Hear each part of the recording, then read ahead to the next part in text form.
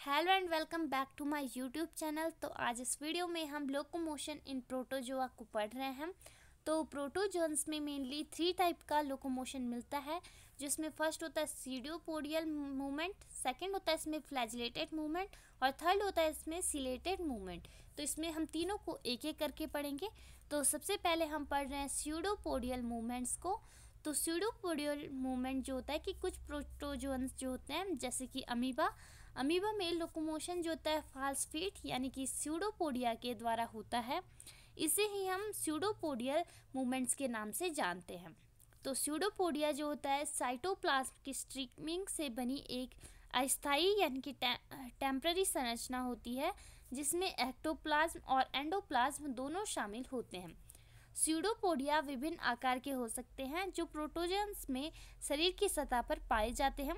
इसके अलावा स्यूडोपोडिया का निर्माण मूवमेंट की डायरेक्शन में साइटोप्लोज साइटोप्लाज्म की स्ट्रीमिंग से होता है।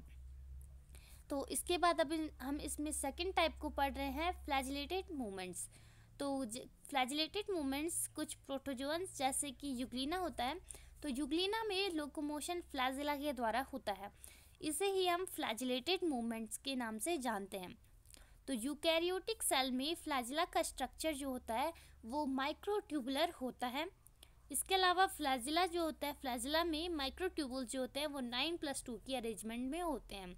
केवल जो ओरिजन होता है, जहाँ से ओरिजन होता है फ्लैजिला का, वहाँ पर नाइन प्लस ज़ीरो के अरेंजमेंट में होते हैं।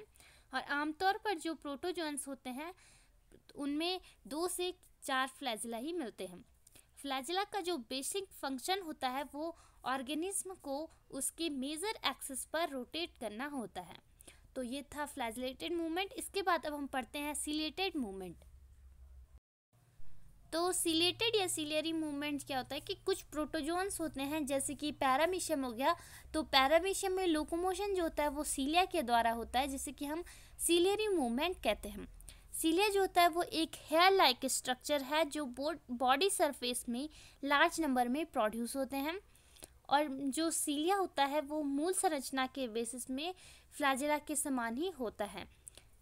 सीलिया जो होता है प्रोटोजोन्स में लोकोमोशन के साथ फ़ूड कैप्चर में भी हेल्प करता है, यानी कि जो सीलिया होता है सीलियरी मूवमेंट होता है, इसके थ्रू प्रोटोजोन्स में केवल लोकोमोशन ही नहीं होता, बल्कि ये फ़ूड कैप्चरिंग में भी हेल्प करता है। So thank you friends I hope कि ये वीडियो आपके लिए हेल्पफुल रहेगी। इसी तरह की और वीडियोज़ के लिए वीडियो को लाइक करें चैनल को सब्सक्राइब करना ना भूलें और इस वीडियो को ज़्यादा से ज़्यादा शेयर करें।